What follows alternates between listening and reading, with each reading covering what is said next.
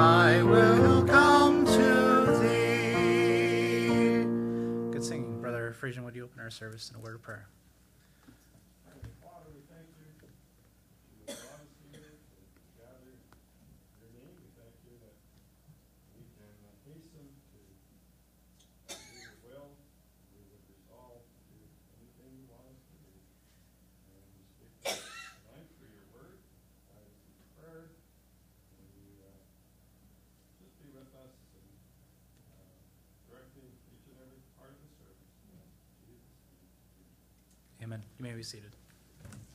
Amen. Thanks for being here tonight. We have some other folks on their way still. No folks are traveling. Uh, some folks on work out of town. But we have tonight a first-time attender, all the way uh, from the womb of Lindsay. Uh, Charlie's with us tonight for the first time. How many days old is he now? He's just over three weeks. You don't know how many hours and seconds and all of that? No, you don't have that figured out. I don't man, it's sure good to see you guys here tonight. Of course, Lindsay's had a, a bit of a battle, of course, with surgery and then infection, and but doing lots better. It's sure good to see you guys here, and the wonderful. It's also good to have all the way from uh, a country that really does exist called Finland. I know I heard someone the other day say Finland wasn't a real country, Brother Veli, but uh, Brother Veli's with us tonight. He's uh, flying back to BC on Friday, and then uh, flies back to Finland uh, in just a week or so. But uh, be praying for him. It's good to have him here for just a, a little while, and uh, good to be here tonight. We're going to go ahead and take prayer requests this evening. Uh, take new uh, prayer requests tonight. Who has a new prayer request? Let's of course be praying for the dear folks in Texas with that horrible, horrible shooting. Be praying for all those folks affected. Be praying for Brother Ahmad. He's in Calgary. Ask us to be praying for him. Um, meetings, and uh, he was a bit sick yesterday, but be praying. Uh, praying. He thinks he got food poisoning. He probably ate his own cooking. That's probably what happened. Uh, but be praying for him. Any other new, new prayer request? tonight. I feel like I'm, someone I wanted to share something. I'm trying to remember who that was. Yes, Veli.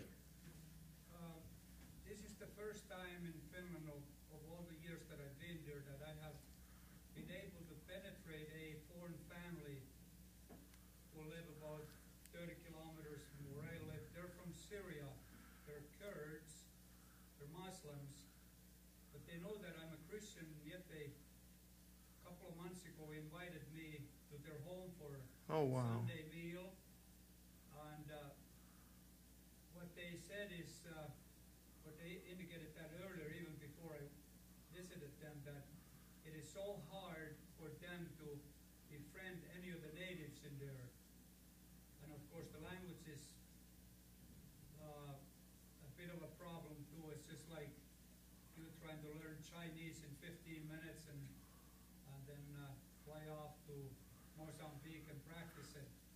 But, uh, so we could pray for them that if, um, God would have in, inroads into their hearts and perhaps see, that we would see some, even one saved to start off with. Amen. Is that- is that the- sure that they understand that they don't have to hope in Muslim so-called religion. The religion will just not cut the cake. Maybe that's not a good English to, Is that the same, the same family you told me about quite a while back, quite a while back? Barber or, it's the, the, the, yeah, the barber's Okay. parents. okay, And then the parents' friends, because apparently the, about half a dozen, six to ten years ago, in that time span, quite a few of them came. I, I would think that there's several hundred living in that city, former capital of Finland. So there's a, a small community of them. And of course, be- being Kurds, they stick together like glue because Sure. they're not Arabs sure. but they're, they- they speak Arabic as well as they speak Kurdish, and some of them also speak Turkish. Gotcha. Be praying for that family there in Finland. Any other new prayer requests tonight? Brother Darren's nodding his head. I guess he means I need to check my phone here. Let's see. Be praying for an unspoken. Uh, Maria has asked us to pray for an unspoken request. And then also, uh, she said, Praise God that William's oxygen is significantly better. And she's hoping for another miracle to be off oxygen by his, his connected, corrected second birthday. So we keep praying uh, for William. There. Yes, Karim. Okay. If he sells drugs, there's a position, that block right over the, no. I'm just teasing. You praying for Timothy as he's looking for work? What are you looking for? No effort, lots of money, right? No, seriously, is there anything particular you're looking for? Okay. Praying for Timothy's for a job. But I would stick with the low, low effort, lots of money. That's always good. Carrie? Um, oh, yeah, thank you. That's, that's what I was trying to, thank you so much. I knew there was something I wanted to share. Uh, be praying for Tasha's stepdad, of course. Uh, Tasha's family moved here uh, from BC. Uh, that was the first of May, I think. And then right after they came, uh, Tasha got sick, and I believe Grayson was sick, and uh, or at least the whole family got sick. They had COVID. And of course, Tasha is expecting her due date's five days away. And then she got better, and the, there'd been some sickness back and forth. And uh, her stepdad traveled out to BC, and I guess they think maybe was around some family there that had COVID. He's back here now. Uh, he's sick. Uh, they took him to hospital last night. Yeah, they took him to hospital last night. His oxygen was low, and his having heart issues as well. Uh, so be praying for him. He is in hospital as Tasha's stepdad. And uh, of course, be praying for the rest of the family and especially be praying for Tasha. She's, she's doing okay, but uh, her due date is just a few days away. So be much in prayer for Tasha's stepdad and of course for healthy baby and delivery and all of that. They've- It's been almost a month. uh, They haven't been able to be at church. So be praying for the Hoxie family. It's been a, it's been a rough, a rough month for them. Any other? Peggy? Um, pray for me, um, I'm having my memory tested on the fifteenth. Phew, I'm glad they're not testing me. I'd fail, Peggy. Be praying for Peggy. She's having some, some tests run.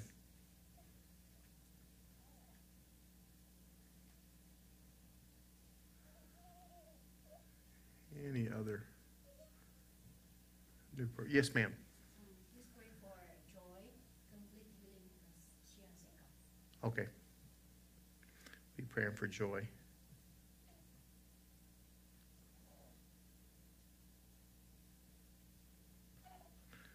Be praying for those that are traveling. I know we had lots of folks that traveled uh, for a long weekend. I think there's some families still traveling back. So be praying for those folks as they, as they find their way back home. Any other new requests? Miss Lois, how's Stuart? Any better? He's better, he's better. That's great news. That's really good. Any other new prayer request tonight? All right, let's go ahead and take these uh, requests of prayer tonight. Lord, thank you, Lord, for the opportunity to come to you. Lord, we praise you for being our wonderful Savior.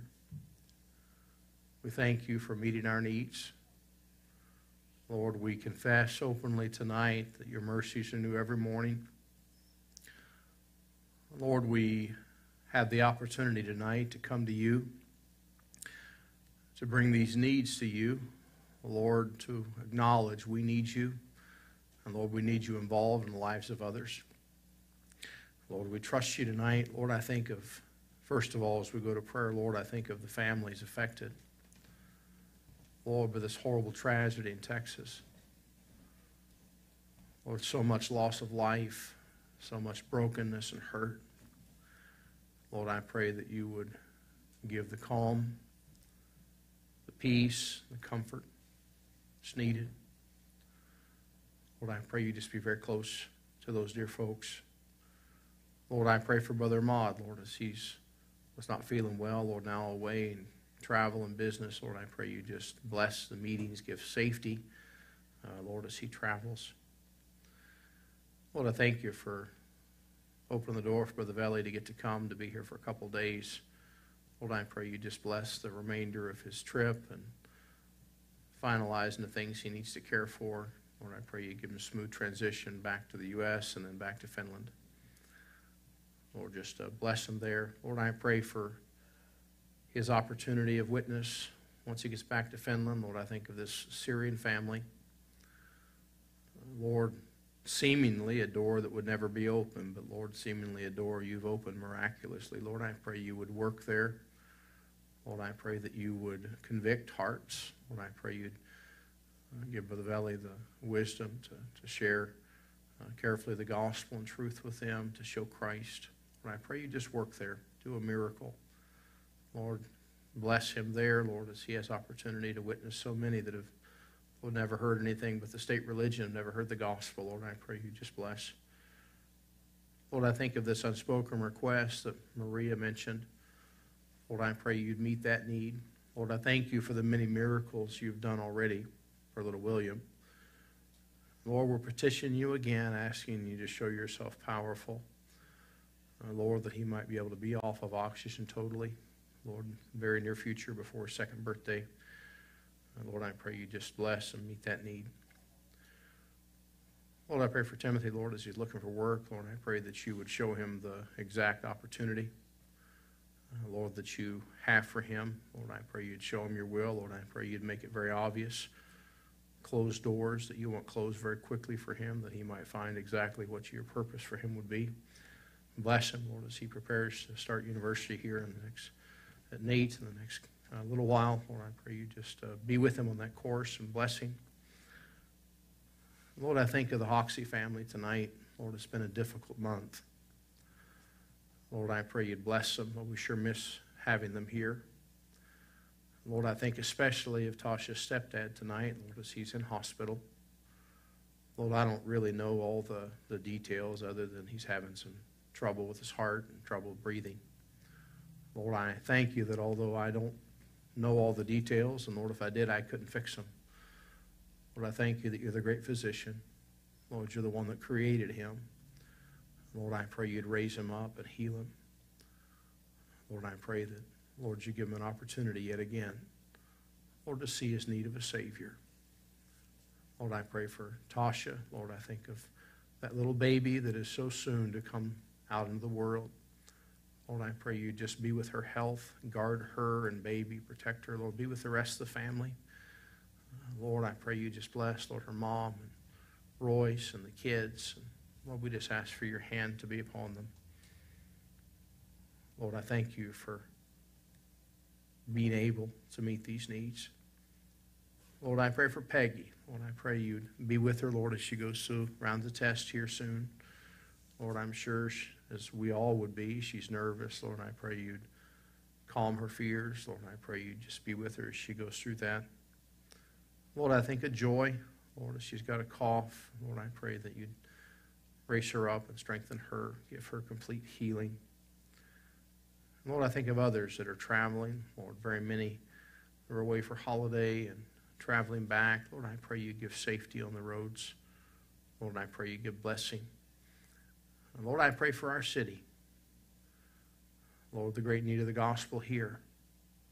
Lord, I pray you'd bring forth laborers, raise up laborers into your harvest here. Lord, help us to see the need for souls to hear the gospel here. Uh, Lord, I pray you'd bless us as we endeavor to meet that need the best we can to our ability for your glory. Lord, I pray you give us fertile soil, Lord, to plant the seed of the Word of God. Lord, not only just our city, Lord, I think of our province. Lord, so many people that have never heard the gospel. Lord, so many communities, even here in our little part of the world, that have not a gospel preaching witness. Lord, I think of two churches I know of right now without pastors across our province. Lord, I pray that your will be done, Lord, that you would raise up, that laborers would answer your call. Lord, I pray you would bless our country. Lord, in the midst of moral decline, in the midst of seeming apostasy all around us, Lord, I thank you that you're able to do a great work. Lord, I believe that a great revival, Lord, a great work is happening and beginning across our country, here in our church and around the country. Lord, I pray that that would be the case. Lord, I pray that we would see uh, great impact of the gospel. Lord, I think of the world. Lord, what a great, vast thought to think of how many people there are in this world. And Lord, how humbling to realize how many of them have never heard the gospel, how privileged we are. Lord, I pray that you would send forth laborers to those places where there is no gospel witness. Lord, I pray that all the world may know, Lord, we know that it's your will that not any should perish. Lord, I think of missionaries tonight. Lord, I think of those that we as a church have an opportunity to minister with and partner with. Lord, I pray that you would bless them and meet their needs. Lord, I pray that you would give them a great and effectual door of opportunity of ministry where they are. Pray you give them safety and protection. Pray you give them wisdom, Lord, as they lead the ministries where they are. Lord, some in difficult situations, some in uh, difficult, different situations than we are, different cultures. And Lord, I thank you that you're able. And Lord, I pray that you'd give them wisdom. I pray you bless them. Lord, I pray you'd help us as a church to be faithful, to keep faithful support, Lord, to keep praying, Lord, to hold that line. Lord, I pray you'd bless us as a church. Lord, we look forward to a little over a month and a half from now celebrating 17 years, Lord, of being in this city. Lord, if you tarry, you're coming.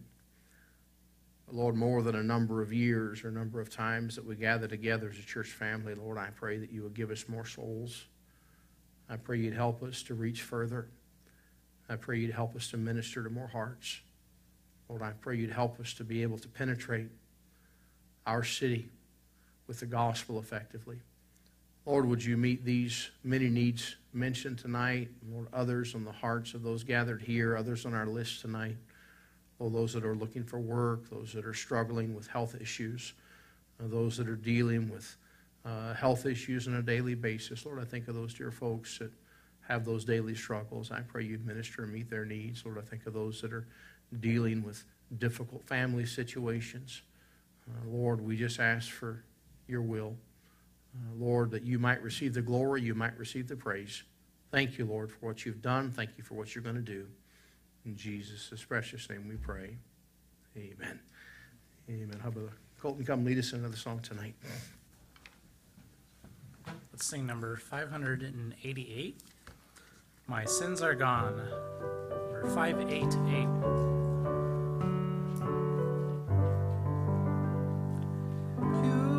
Ask me why I'm happy, so I'll just tell you why. Because my sins are gone.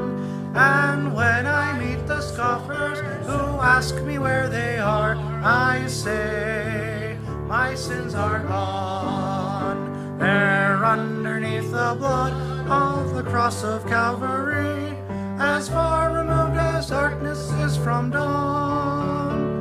The sea of God's forgetfulness, good enough for me. Praise God, my sins are gone. 'Twas at the old time altar where God came in my heart, and now my sins are gone. The Lord took full possession, the devil did depart. I'm glad my sins are gone.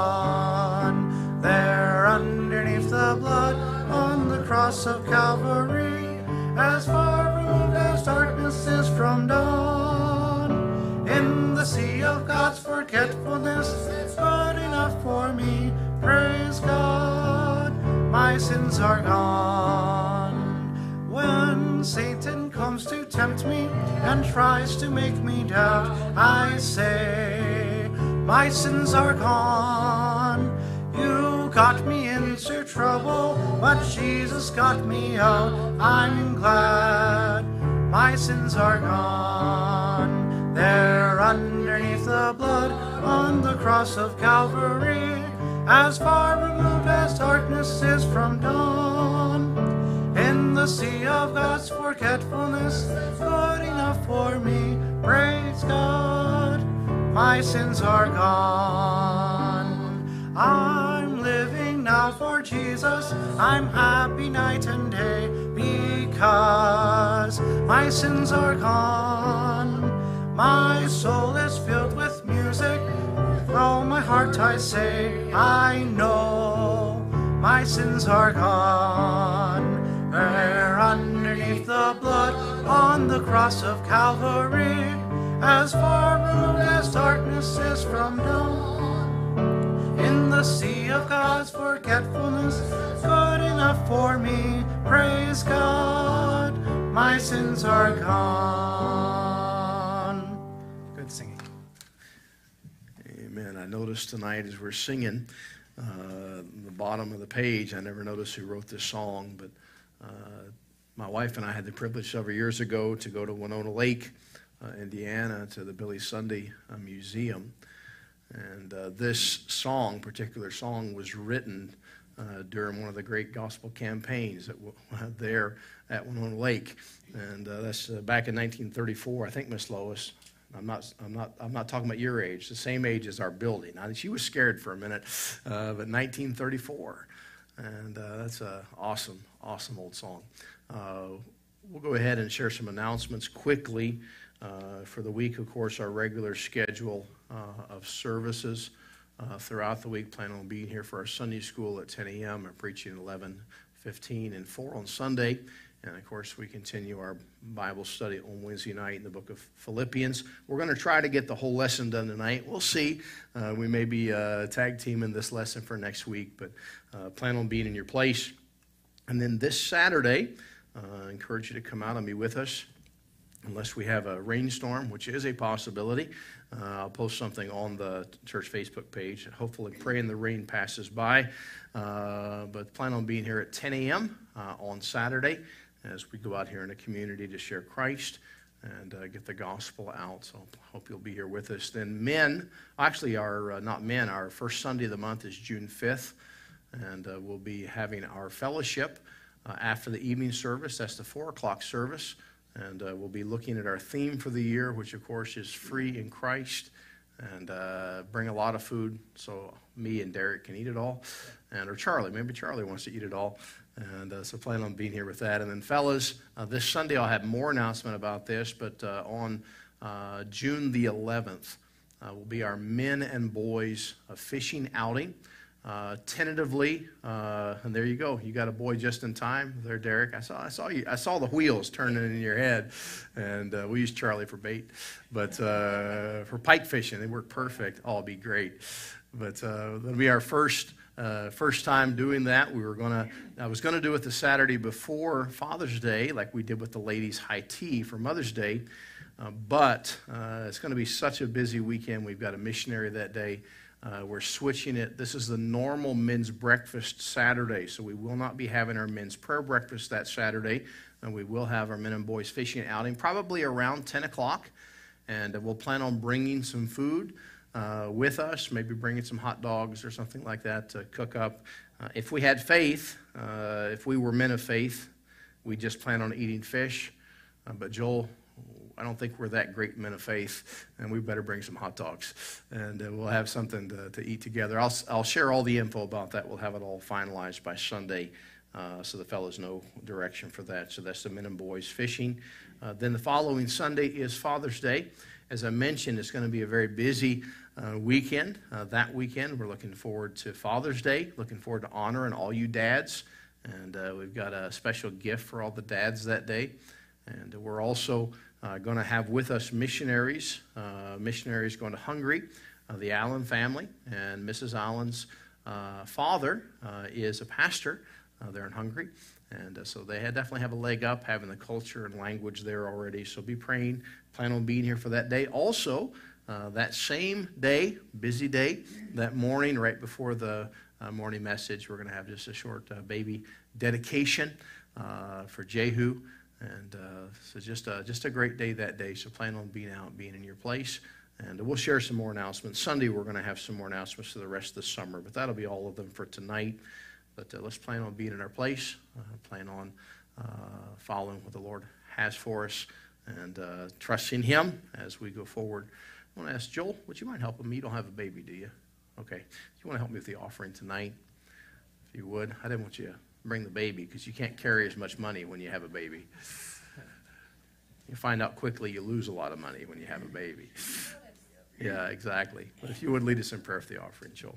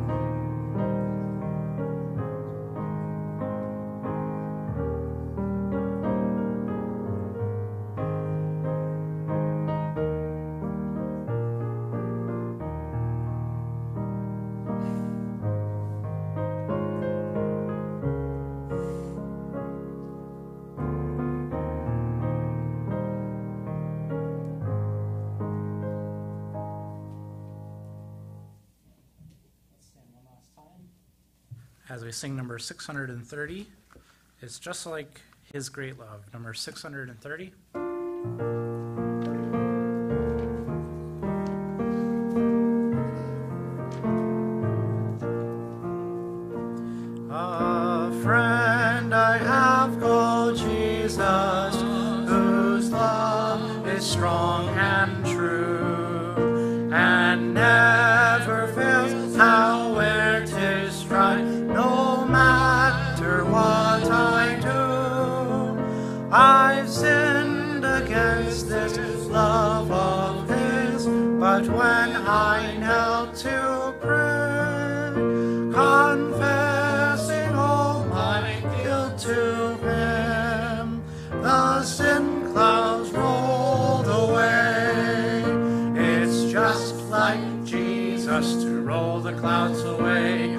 Just like Jesus to keep me day by day.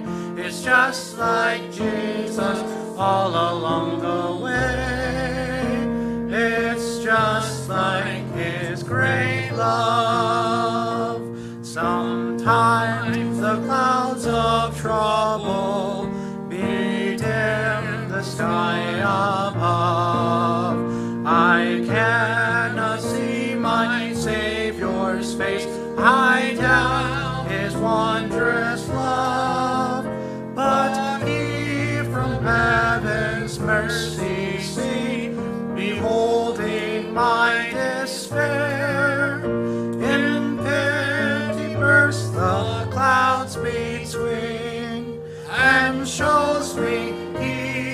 is there.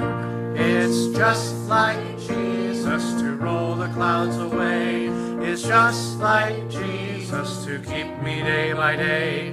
It's just like Jesus all along the way. It's just like His great love. On the last. Oh, I could sing forever of Jesus' love divine, of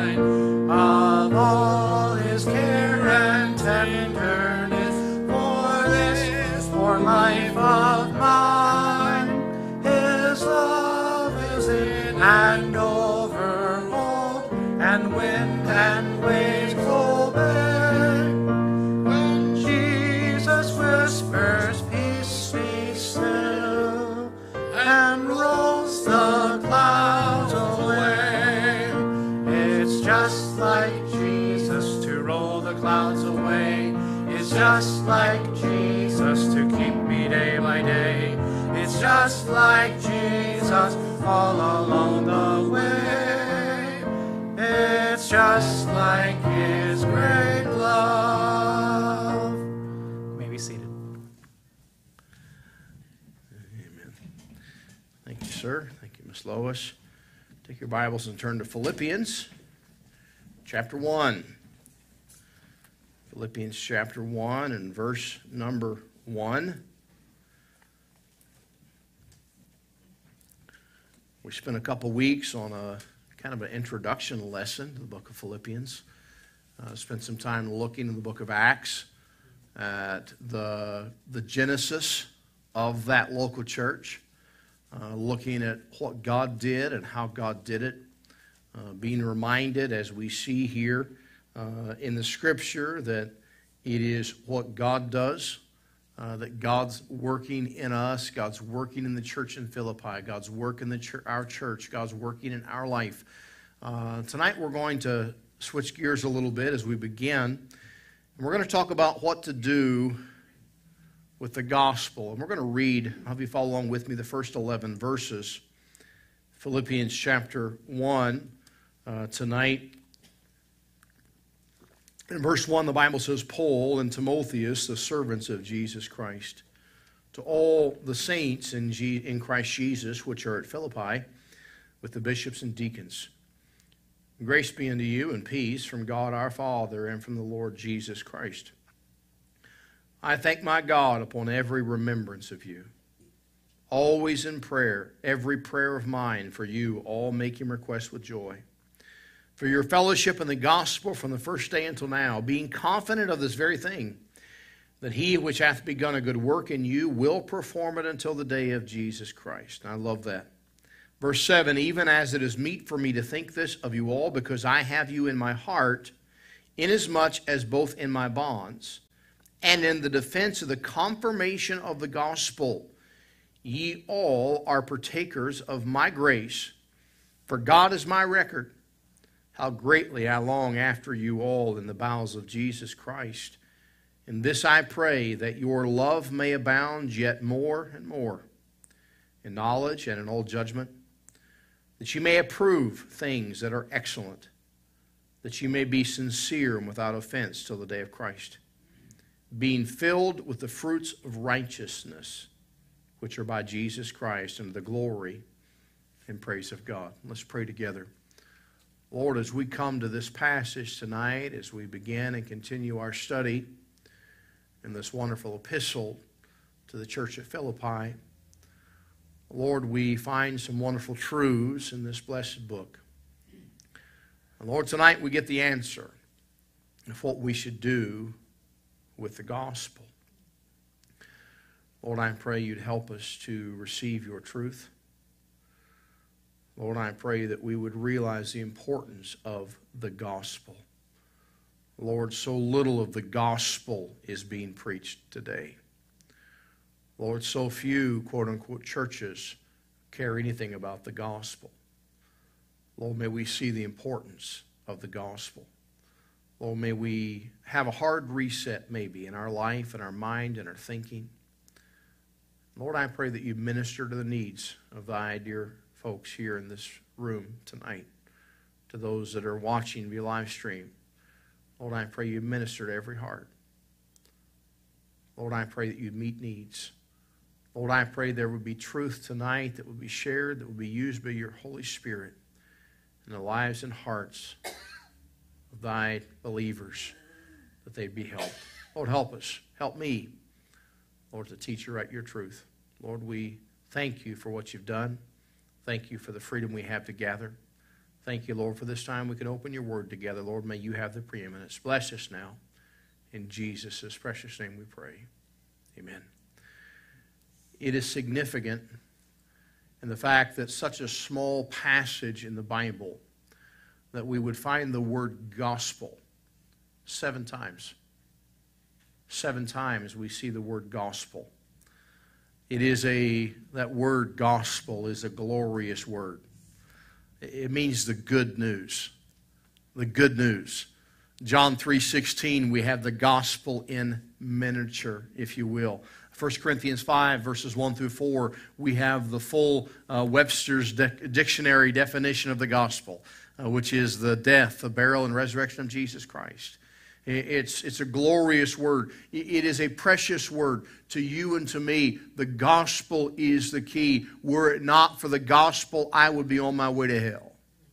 Were it not for the gospel, you would have nothing to long for, nothing to hope for, nothing to wish for. it, it is a precious, precious, precious word. How many of you like coffee? Any coffee fans here? When for me, coffee's a precious commodity. I, if I ever spill coffee, I get upset. Sunday morning on the way to church, I had uh, an espresso. Actually, to, I guess to be more appropriate, I had what the Australians and New Zealanders call a long black. And I had it sitting in the cup holder. I'd, I had just a little bit left on the way to church. And as I took a corner coming to church, I heard it fall. And I went, No! And I looked down, and praise God, it wasn't my coffee. My phone had just slid across the car. I didn't care about that. I said, forget the, forget the phone. At least the coffee's okay. I picked the coffee up and said, Praise God, I had the last few sips of coffee. I didn't lose it. Now, the gospel should be very precious to us. But it is in our world and becomes progressively more so a word that is hated. A word that is hated by the devil and all those that would that I've seen a man hold a sign, a picture of one of the one of the most vile things I've ever seen. I saw a man holding a sign. I think it was maybe at a, a pride parade or something. But the guy's the sign, not a Photoshop, an actual picture of a man that was holding a sign that said, If Jesus comes again, let's kill him again. That, that's the world we live in today. And much of the world hates the gospel. it, it is also a, a very misunderstood word. Those that do not know the gospel assume the gospel is something that it is not. They assume the gospel equals religion. Uh, I was just uh, out for a couple days, just got back this afternoon, out trying to find a bear that wanted to come home. Uh, how many of you would like to have a pet bear? I really want a pet bear. I, I, saw, I saw three little ones the other night, Miss Lois, and if my wife had let me get away with it, I, I'd bring one home. I'd have a Yeti, a buddy to play with, but I, I was trying to bring one home not to play with, but put in my belly. It didn't happen. It's all Darren's fault. But bears are related to, the, to pigs, they're in the same family as pigs. But to say a bear is a pig would be a misnomer.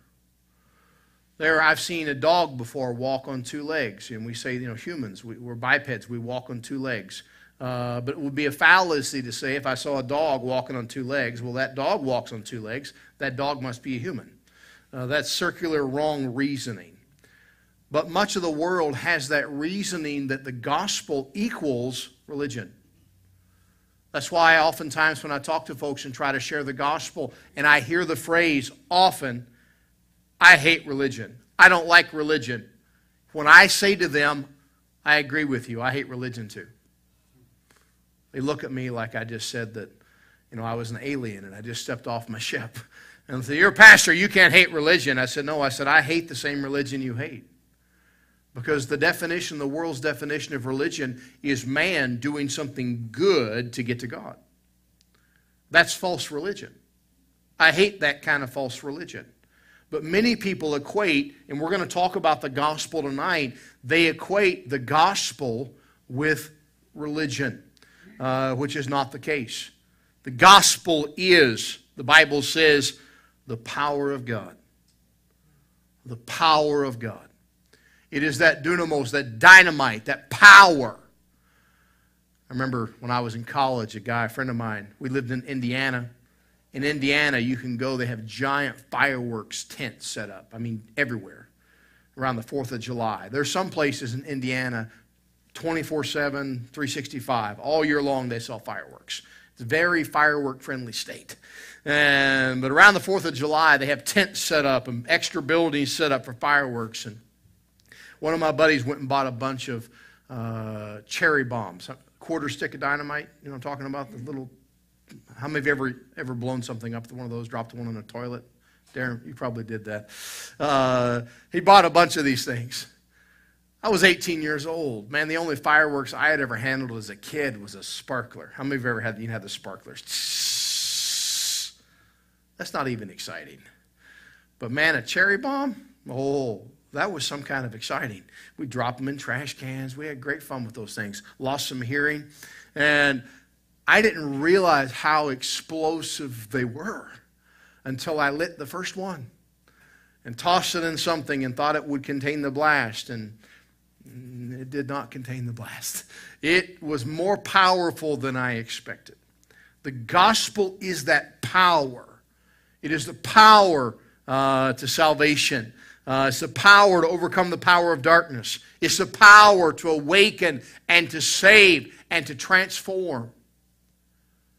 Praise God for the power of the gospel. We won't take time tonight to turn there, but we can look back in Acts 16 again and see that power in Acts 16, verse 14, Acts 16, verse 18, uh, verse 26 to 34. See that power. The gospel is an identifying word. Anyone who is truly born of God will speak of the gospel, not of religion. It is an identifier. It identifies those who are His. It is the gospel. And it is a biblical word. And that's why tonight we're going to talk about what to do with the gospel. Uh, because it is a biblical word. Uh, Romans 1 1, if you want to write some references down, I'll give you some quickly. We won't turn there for sake of time. Otherwise, we will be a couple weeks getting through this. But Romans 1 1, the go- it is the gospel of God. We see that in the scripture. We see Romans 1:16. We see the words, the glorious gospel of Christ.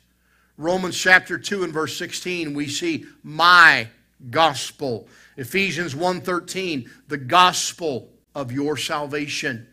Uh, Ephesians again, chapter 6 and verse 15, the gospel of peace. Well, I love that, the gospel of peace. I'm reminded of the testimony of a man that I met several years ago, a man that wrote a book uh, uh, about his testimony. Uh, Son of Hamas is the name of the book. Powerful book. Powerful book written by a young man whose father was one of the founders of Hamas. This young man who wrote the book used to be the leader of Hamas youth. But he got the gospel uh, because he heard a gospel preacher talk about forgiving your enemies. And he said, My dad is the most religious man I knew. And he, he said, I knew without a doubt. His dad's the head of Hamas. He said, My dad could not forgive his enemies. He said, Whatever that man is speaking about is more powerful than what my dad knows. And it was the power of the gospel that led that young man to Christ. But we see the words there, the gospel of peace. It is the gospel in 2 Corinthians chapter 4 and verse 4, the gospel of his glory. Not the gospel of our glory, the gospel of his glory. Where I'm from, we have wild turkeys. We have some in southern Alberta, but we don't have any here. And wild turkeys are they're weird critters. They're ugly. They're scared of everything. They're just, they're odd, weird, unusual creatures. But when it becomes mating season for turkeys, you know, the turkey doesn't walk up to the female turkey and say, hey, you want to see how much money I make? He doesn't go up and say, hey, check out the car I drive. He doesn't say, hey, come check out my nest. I got the nicest nest in the bush. He goes up and he sees a hen turkey and he goes, and he puffs all the feathers out. And he struts around, showing off those feathers. I got to wonder what goes through the mind of the female turkey. Pretty nice feathers. Kind of like those feathers. I think that's the father of my children. Uh, but it's ridiculous to me the the mating ritual as they show off their plumage. Oh, okay, yep. I guess I guess that's the one. You got pretty nice feathers. You got a pretty nice, I think I'll go there. But understand, it's about the glory of that turkey showing off and strutting and puffing out, dragging that wing and showing how big he is. So often as Christians, we think the gospel is us puffing out, showing off. But it's not for our glory. The gospel is His glory. Before we get in here to the, the notes tonight, the gospel in Revelation chapter 14, verse 6, it is an everlasting gospel. Everlasting gospel. Now, we're going to have a split decision here at church tonight. If I ask you to raise hands, I won't do it. But there are some of you here tonight that if you look at a package and that package has a best by date on it, and you realize that it's now past that date. I'm not going to ask you to raise your hands, but there are some of you that would throw that away. And then there are people like me. I look at that and go, it's only been three years. Probably okay. I have a bin that I keep out in my shed that I have, I call it my camping food or hunting food bin. And most of that stuff I bought at Liquidation World. By the way, when you buy stuff at Liquidation World, it's already expired and it's been out there for a while and i'm looking through it and i saw i pulled something out the other night my wife was there and i said the date I, I, think that nixon was the president probably when it was made I, yeah i'd probably throw that away but i opened a package the other day darren wasn't brave i opened some uh, chicken uh, spicy buffalo chicken jerky nuggets now they were kind of green and hairy but i looked at them and eh, they might be okay i looked at darren and said you want some no but I ate them because I paid for them after all. Uh, I scraped the hair off with my teeth, uh, used it as floss, but it wasn't bad. But there are things that go bad. Did you know milk goes bad? Ever tasted bad milk? Ugh. There are things that rot that they don't last. It's frustrating. You pay so much money for groceries, and then you go to your refrigerator to get it out and realize that thing you spent so much money on that you forgot was in your crisper. You ever been there? And you open the crisper drawer and go, oh, it's bad. I praise God, the gospel has no expiration date. It is eternal. The eternal gospel. Just a few points tonight. Number one, what are we to do with the gospel? We talked about the word. We talked about what the gospel is. What are we to do with the gospel? Number one, we are to share. We are to share the gospel. In verse 5 in our text, it says, For your fellowship in the gospel from the first day until now. These believers in Philippi were participants in the gospel. You know, if you go to a sports a sports game, how many of you are following the Battle of Alberta? The Edmonton won last night, right? They were head three to something. A friend of mine messaged me while I was laying up looking at the stars last night. But you know, if you go to one of those games, you don't play hockey. You sit in the stands. The guys on the ice play hockey. You're not a participant in the hockey game. You know, if Derek went to the, the next game and game started, he runs down the stands, jumps over the glass, lands on the ice, grabs a stick, and says, Okay, guys, I'm here to play. He'd be in jail. They'd be like, Whoa, buddy, no, get out of here. You're too short, man. We don't want you. Uh, you got red hair. We definitely don't want you. All kinds of bad things. I know, we get him out of here. We don't want him. No, he'd be arrested. He's not allowed to participate in the game. He can watch the game if he pays enough for the ticket. But these believers in Philippi, they were participants. Christians, we are to be participants in the gospel. There is to be no spectators when it comes to the gospel. When it comes to believers, we are to be participant, fellow. Notice the word there. I love this. The fellowship of the gospel, joint participation in a common interest, a common activity. In other words, it speaks of those that were involved in getting the gospel out, not just Paul, not just those that were laboring there, but those that came to Christ, like the Philippian jailer, like those ladies that were praying by the river that got saved and formed, I believe, the foundation of that church there in Philippi. They were involved in sharing the gospel with other people. They shared the gospel.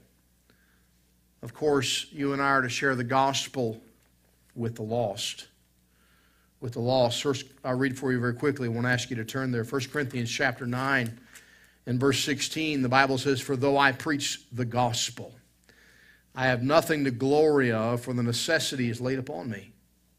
Yea, get this statement, woe is unto me if I preach not the gospel.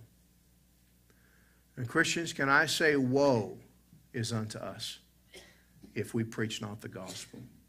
We have to share the gospel. Uh, the thought here is of that fellowship back in Philippians in our text, the fellowship of the gospel. And if you look over at chapter 2, and verse 22, it says, But ye know the proof of him that as son with the Father, he has served with me in the gospel. Speaking of Timothy, Timothy was a fellowshipping partner in the gospel. A fellowshipping partner in the gospel. He worked with Paul getting the gospel out. And how wonderful that is. In chapter 4, look at chapter 4 quickly. Chapter 4 and verse 3. And I entreat thee also, true yoke fellow, help those women which labored with me in the gospel. With Clement also, and with other my fellow laborers, whose names are in the book of life. We see here that the church at Philippi was not a group of spectators sitting in the stands watching what was going on. They, they weren't watching someone bat the gospel back and forth like spectators at a sporting event. They were fellowshipping, they were together, ministering together, getting the gospel out. How are we to share the gospel? Share in the ministry, even of the gospel. Look in verse 3 in, our, in, in chapter 1 in our text we read. I thank my God upon every remembrance of you we share the gospel, we're to be thankful for one another. Every time Paul thought of these believers, these Philippian believers. By the way, how many of you know that the, the believers in Philippi had problems?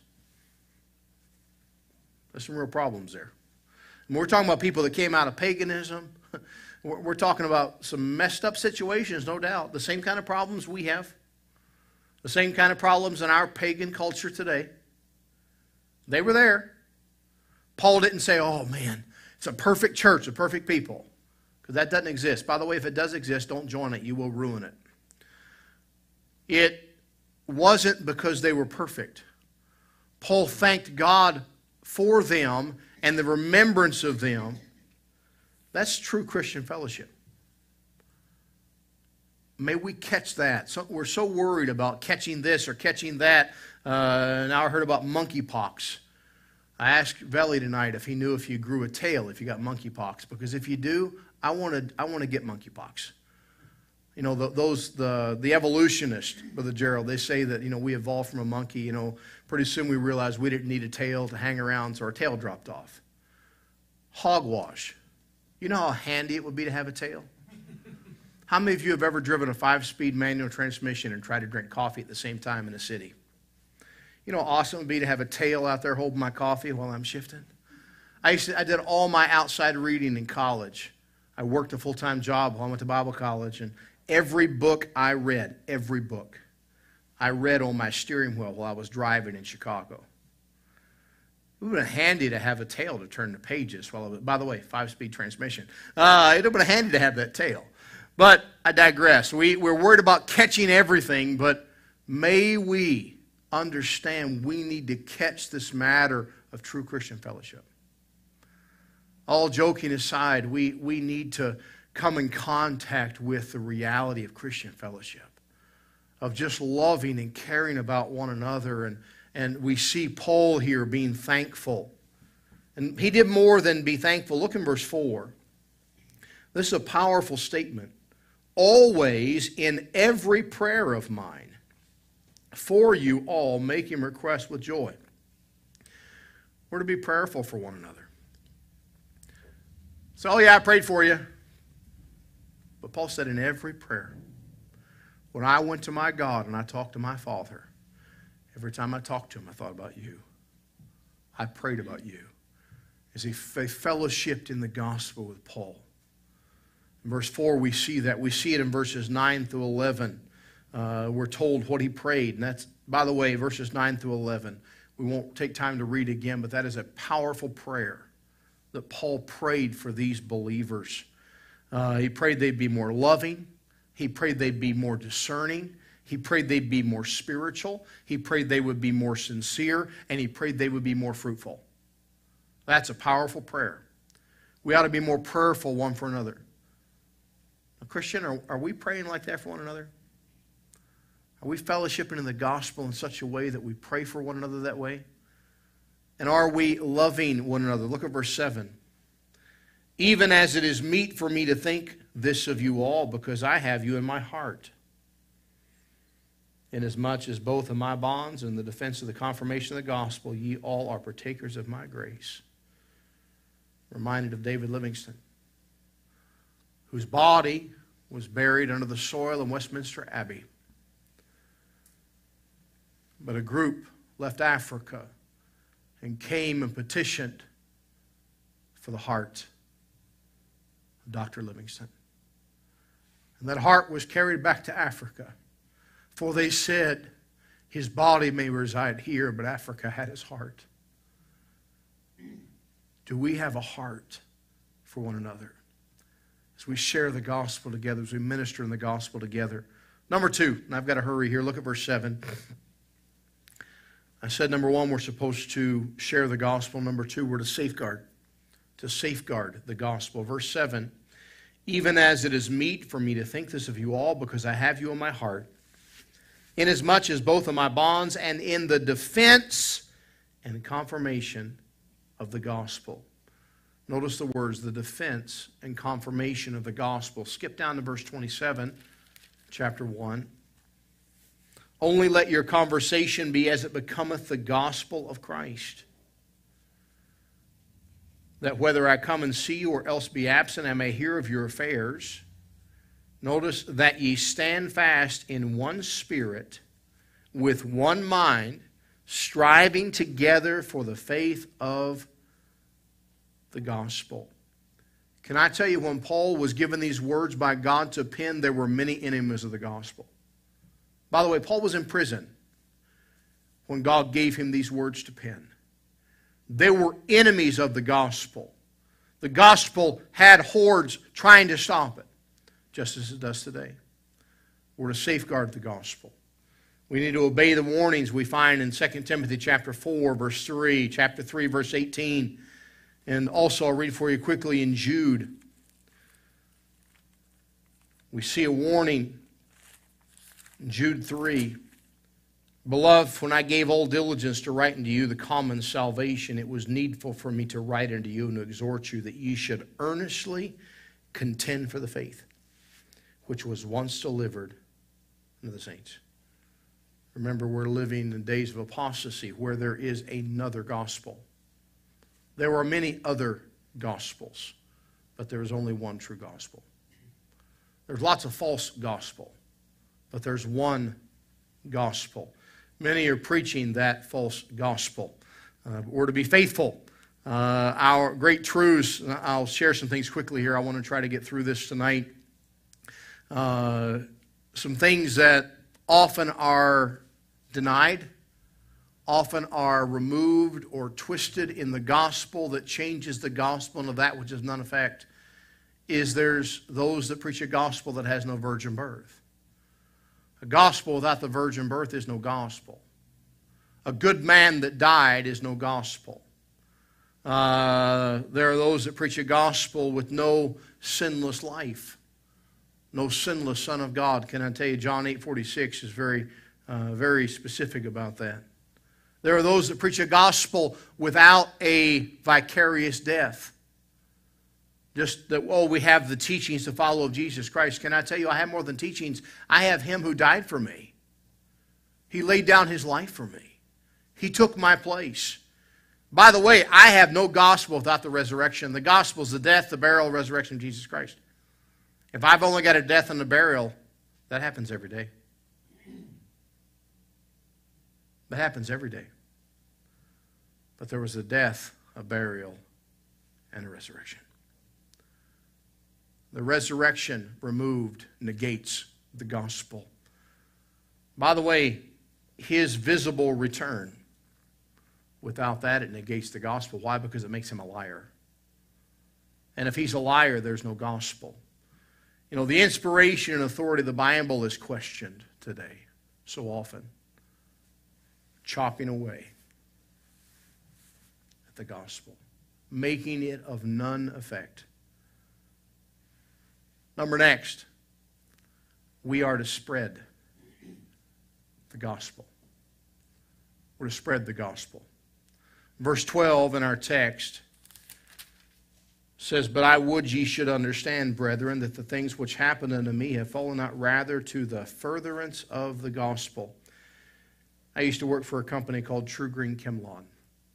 How many have ever seen the TruGreen uh, trucks? I fertilized and killed weeds.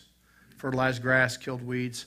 Nowadays, I just fertilize my weeds and kill the grass. But uh, I used to get paid for taking care of lawns. And uh, I had a, a, big truck. I had a couple of big sprayer tanks. And I'd run the hose across, and I'd be out there spraying those lawns back and forth, running 100 miles an hour.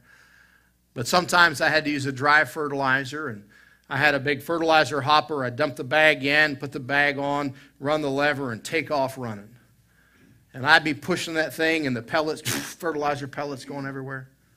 If I just opened the lever and sat there, the fertilizer just come out on the ground. And the customer would call in a couple of days when there was no grass because it burned the grass. I had to spread that fertilizer. That fertilizer had to be spread out to do the job. What am I to do with the gospel? What are you to do with the gospel? We're to do the same thing with the gospel that I did with that fertilizer years ago. We're to spread it out, we're to get it everywhere. As we think about spreading out the gospel, understand We spread it out by telling it, by preaching it, as we're commanded in Matthew 28, verse 19, to every creature. We see it illustrated in Acts chapter 8, verse 4. But look in Philippians, again, there, chapter 1 and verse 12. But I would you should understand, brethren, that the things which happen unto me have fallen out rather to the furtherance of the gospel. Paul said, The things that have happened, what things, Paul? Well, I, am in jail. They knew that. They said, he said, Don't worry about me. I may be in jail. But just so you know, God's done this so we can get the gospel spread out. Christian, you and I are to get the gospel spread out. Brother Veli's heading back to Finland in a few days. Brother Veli's there so he can spread out that gospel. By the way, you're not going to Finland. You're, you're in Edmonton. You know why you're in Edmonton? So you can spread out the gospel. Every one of us are to spread the gospel where we are. We're to get the gospel out. So vital we understand the importance there. Acts chapter 16, verse 23 through 25, we looked at the last couple of weeks. Paul and Silas are in prison, and they sang, and they worshiped God, and they praised God. Imagine that. There they are. They've been beaten, they're all jailed up. And they're singing, Jesus loves me, this I know, for the Bible tells me so. Or some song. Maybe it wasn't that one. They're singing, praising God. And the prisoners went, Did you hear that? Are they in the same kind of cell we're in? They got the same sewer in the floor that we got? And they're singing? They're talking about Jesus? What's God doing? Getting the gospel out. By the way, that jailer outside the cell who had heard the singing and heard the praising and heard the worshiping, when he was ready to kill himself, you know who he went to to find out was going to be okay? I'm going to go talk to those guys who were singing in there. As he said, What must I do to be saved? They were spreading out the gospel. We need to spread the gospel. Imagine if when Paul and Silas had gone down the hallways of the prison, when they saw a prison guard, they went and spit in their face. Of fact, man, you take these cuffs off, I'll punch you in the face, buddy. I don't think they'd have spread the gospel too well. Can I tell you that they obeyed the Lord in spreading the gospel? Second Corinthians, turn there with me if you will. Second Corinthians chapter 12. What a poor testimony it would have been for Paul. What a poor testimony for us when we do things that keep us from being able to spread the gospel. When I pushed that fertilizer hopper around those yards. I wasn't doing small yards like we have in Edmonton. Most of the properties I did was out in country club areas outside of Chicago. I was doing massive properties. And I had to work myself to death to get things done. You know, if I started pushing that hopper and I pushed it for about 15 minutes, and I realized I forgot to pull the lever for the fertilizer to come out, I'd have been pretty upset. I would have said, man, all of that effort wasted, all of that time wasted. Worse than that, I would have said all of that uh, incentive bonus wasted that I'm not going to get for going over my revenue budget. I, I would have been very angry. Christian, how much of your life, how much of your effort is wasted because anytime your life is not spreading the gospel, we're wasting it. Look there, 2 Corinthians chapter 12, verse 9. I guess it would help if I turned there. 2 Corinthians chapter 12, I was in 1 Corinthians. Verse number 9, the Bible says, And he said unto me, My grace, my grace is sufficient for thee. For my strength is made perfect in weakness, most gladly, therefore, will I rather glory in my infirmities, that the power of Christ may rest upon me. Christian, are you willing to allow whatever the Lord wants to come in your life that you might spread the gospel? We need to spread it. Lastly, look back in our text, if you will. Look over in verse 27. In verse 27 in chapter 1.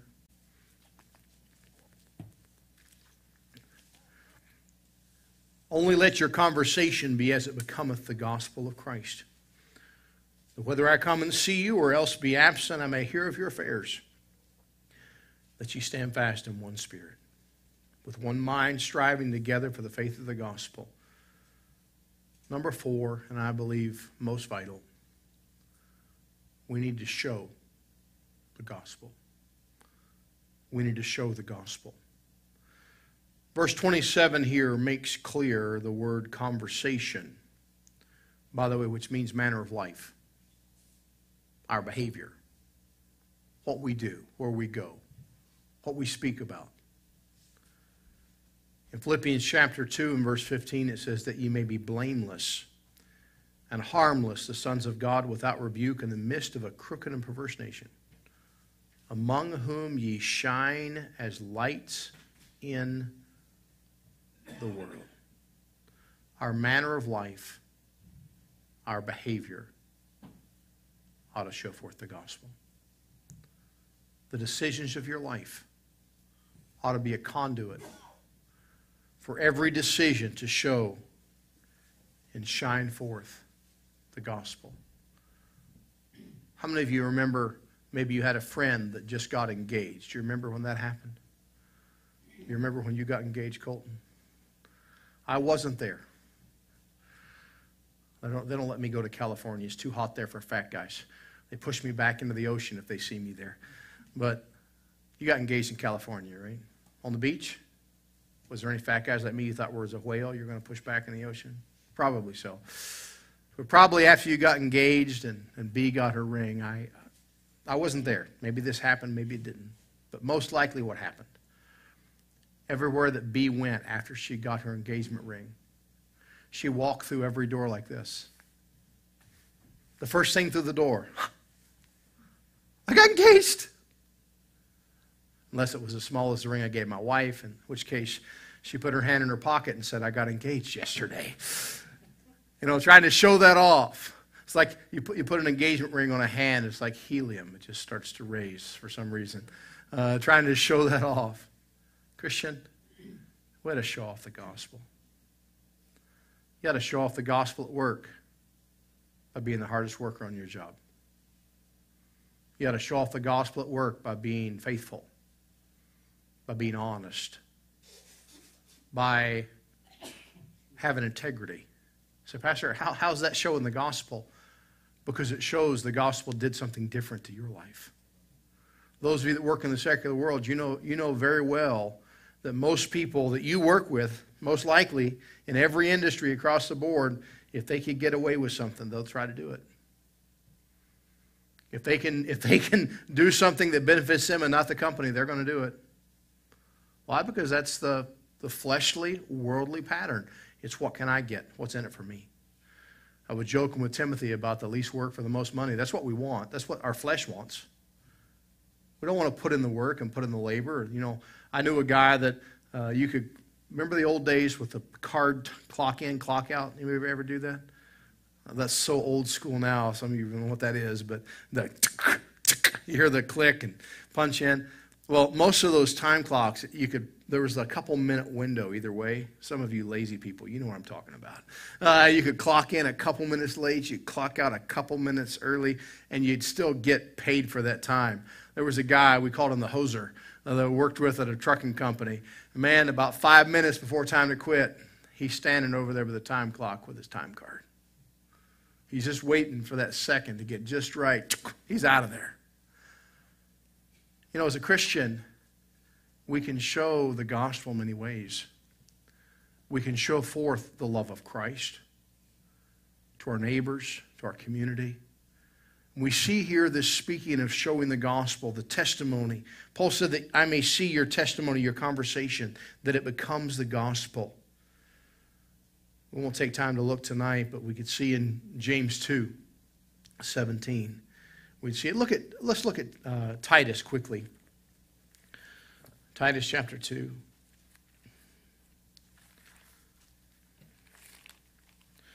And verse 10.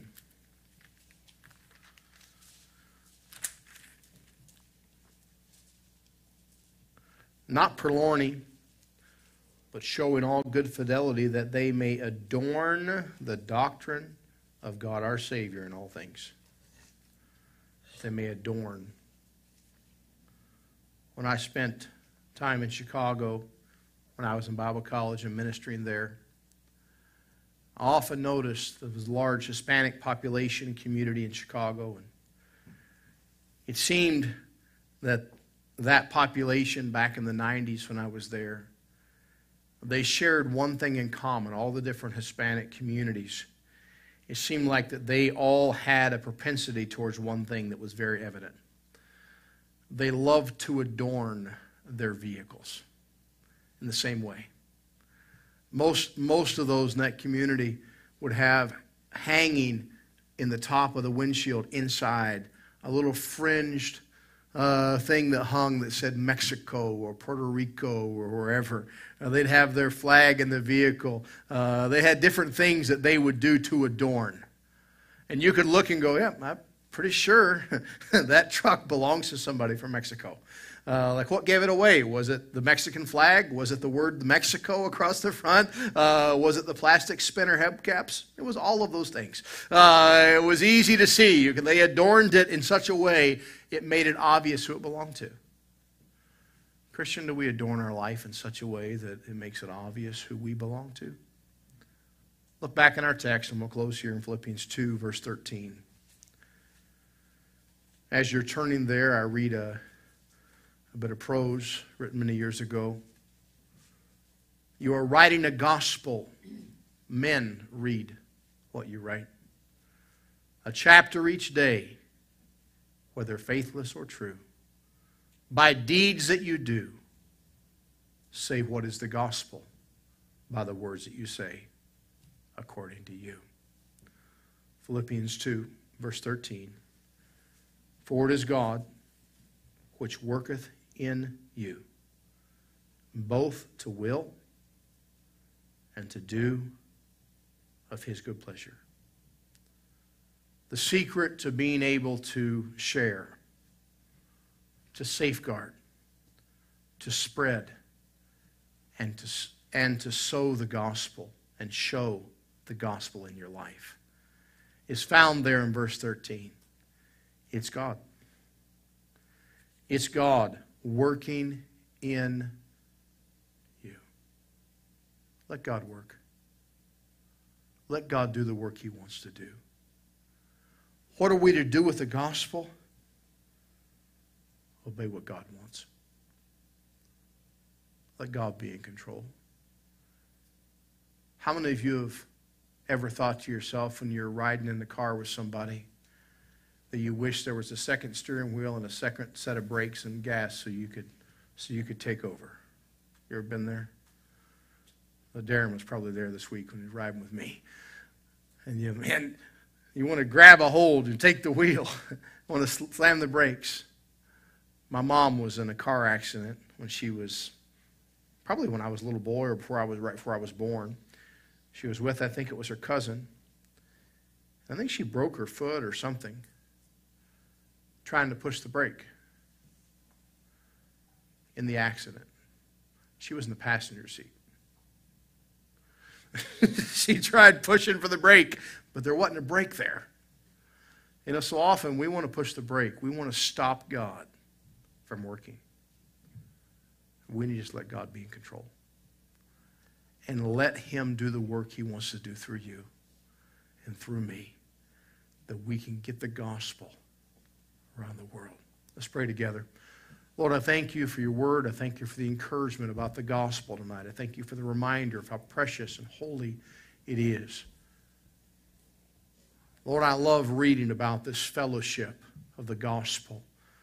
These men and ladies that stood shoulder to shoulder with Paul and ministered together with him.